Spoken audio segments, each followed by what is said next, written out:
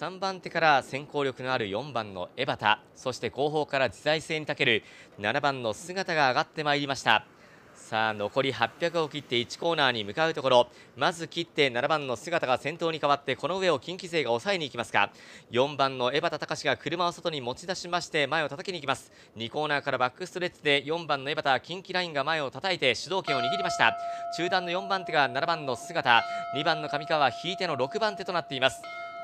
金が入って2センターから4コーナー。この辺り後ろから2番の上川早めに巻き返してまいりました。気づいた近畿勢前でペースを上げてくる。最終周回に入ったところ4番の江端が飛ばしていく。そして2番でちょっと口が開いている。1番の奥谷なんですけれどもさあその外を通ってまくってきました。2番の上川。上川が先頭に変わる。あとは後方から7番の姿北日本勢がまくっていって姿のまくりは現在は3番手のアウトクまで上がってまいりました。逃げる2番の上川。2番手後ろを振り返って5番の坂本翔太郎。4コーナー回ってくる。先頭は2番の上川。上川先頭最後は5番の坂本か。